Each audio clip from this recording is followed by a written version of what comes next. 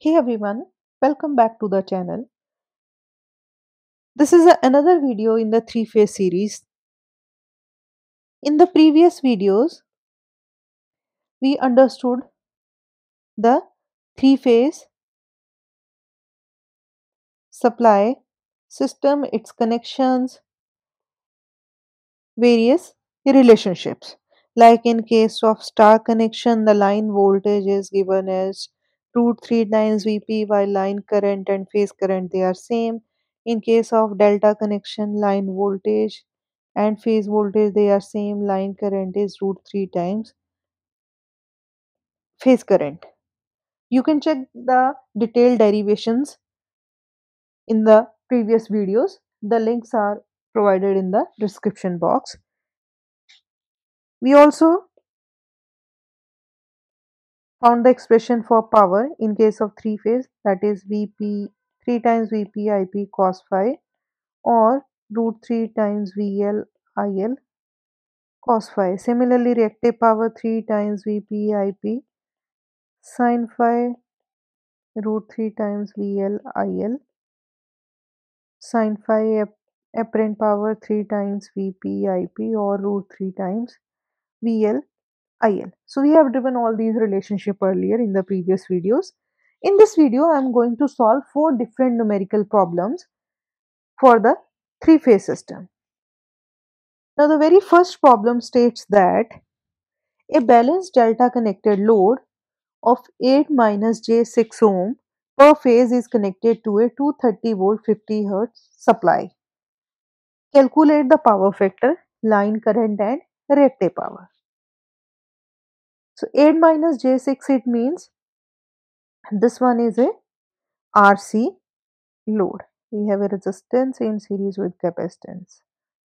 Resistance in series with capacitance and again resistance in series with the capacitance minus j6 ohm 8 ohm these are the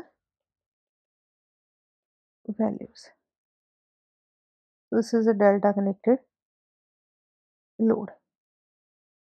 230 volt supply that is the value of line voltage. Since we know that in case of three phase systems the ratings are in case of line quantities. So this voltage is 230 volt. We need to calculate line current. Now when we need to calculate line current in case of delta connection line current is root 3 times ip so we need to find out the value of ip for finding out ip which is given as vp upon zp so in case of delta connection vp and vl they are same. So ip is 230 upon zp is 8 minus j 6 so this gives us the value of current ip as 23 angle 36.87 amperes 23.0 so this 36.87 this gives the angle between phase voltage and phase current. Hence we can find out power factor since phi is 36.87 so power factor which is equal to cos phi cos 36.87 this one is 0.8 and it's a leading power factor. Phi is plus 36.87 it means this is a leading power factor so we got the answer for our first part. Then we need to calculate the line current in second part. So line current it's root 3 times ip so the magnitude if we talk about the magnitudes il is root 3 times 23 it's 39.84 ampere and if we have to mention consider the phase angles as well then il is equal to root 3 times ip and then we have minus 30 degree along with it. Root 3 23 36.87 minus 30 so it will be 39.84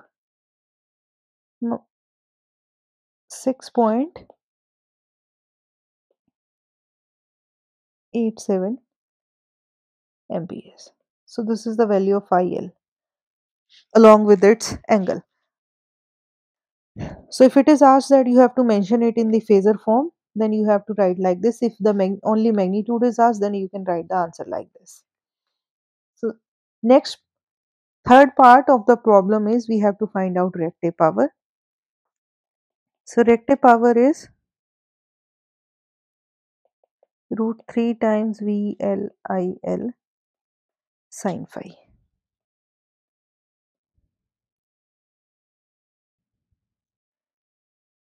root 3 times VL is 230, IL is 39.84, sine 36.87.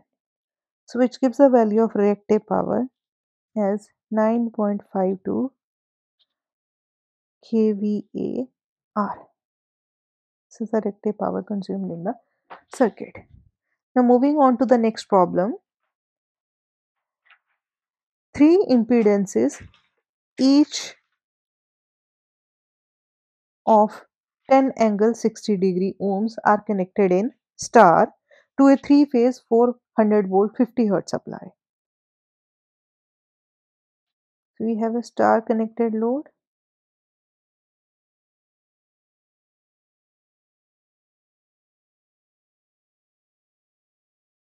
Angle 60 degree. This one is connected to 400 volt supply. 400 is the value of line voltage. So VL is 400 volts. Calculate the line voltage and phase voltage. So line voltage we have calculated. It's directly given in the problem. Its star connection. Phase voltage VP is VL by root 3 So 400 by root 3 is 230.94 volts. This is the value of phase voltage. Then power factor and active power consumed. So we have to find out power factor and, and active power consumed, we need to calculate the phase current and the line current. So in B part, we need to calculate power which is root 3 times VL IL cos phi. For that we need to calculate phase current. Since in case of star connection IL and IP both are same. IP is VL by sorry VP by ZP. VP is 230.94. ZP is given 10 angle 60 degree. So IP is 23.094 angle minus 60 degree amps. So what we get phi is minus 60. So cos phi which is power factor cos of minus 60 means 0.5 and it's a lagging power factor. Minus 60 means current is lagging behind the voltage. Now coming to the power root 3 times VL 400 IL and IP both are same so it means IL is having magnitude 23.094 cos phi is 0.5 reactive power consumed in the circuit is 7.999 which we can say approximately 8 kilowatt And then in part C, if the same impedances are connected in delta to the same supply, what is the active power consumed? Now, if you have remember in the previous video, we have derived the relationship between power consumed in case of star to power consumed in case of delta. So, power in consumed in delta is 3 times the power consumed in case of star. So, you can simply write 3 into 24 kilowatts. This is the direct way to calculate.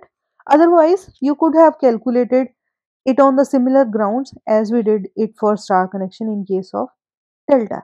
In that case, you need to find out IL as root 3 times IP and IP will be VP upon ZP but VP is same as VL. You need to use these relationship. Then also you get the same answer. The third problem is a balanced star connected load is supplied from a symmetrical three phase 400 volt 50 hertz system. So line voltage is given 400 volts, frequency is 50 hertz. The current in each phase is 30 ampere. So now it's mentioned that in each phase it means this is the value of phase current which is 30 amperes and lags behind by 30 degree from the phase voltage. It means phi is also given 30 degree or IP in phasor form is 30 angle minus 30 degree since current is lagging behind the voltage. Find phase voltage. So first step is we need to calculate the phase voltage.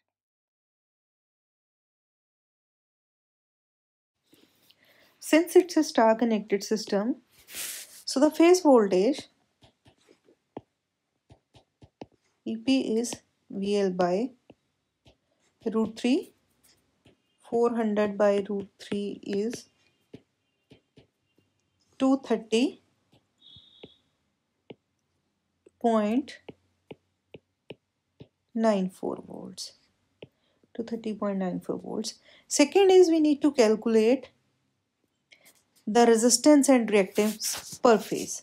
For resistance and reactance per phase, firstly we need to calculate the phase impedance which is phase voltage upon phase current. Phase voltage is 230.94. Phase current is 30 angle minus 30 degree. So we get the value of ZP as 7.698 angle 30 degree. Now we can change this into the rectangular coordinates which gives us the real part 6.67 and the imaginary part as 3.849. So this one is R plus JX. So the resistance per phase is 6.67 ohm. Reactance per phase is 3.849 ohms. In third part, we have to calculate the inductance per phase. xp is equals to 2 pi fl. So L is equals to xp upon 2 pi f 3.849 2 pi into 50 the frequency which is given. So inductance per phase is 0.0122 Henry. And in the last part of the problem, we have to find out the total power consumed. So P is root 3 times VLIL cos phi. VL is 400. IL is same as IP and its value is 30 cos phi. Cos of minus 30 so this gives us the value of power as 18 kilowatt. Now moving on to the last problem for this video. It is quite similar to the third problem. A symmetrical three-phase system four three-phase 400 volt system supplies a load at 0.8 lagging power factor.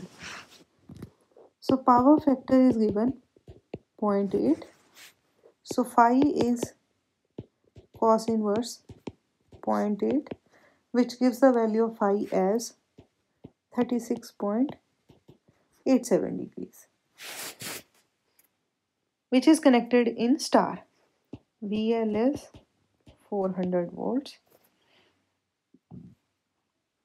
If the current drawn by the impedance is 34.64 ampere, now it's not mentioned which current is this. So by default it means this is the value of line current. Line current is 34.64 amperes. Find impedance. First part is we have to find out impedance. Again impedance is Vp upon Ip. VL by root 3 upon Ip. Now we need to express this Ip in along with its angle. In case of star connection, IP and IL they are same. So its value is 34.67.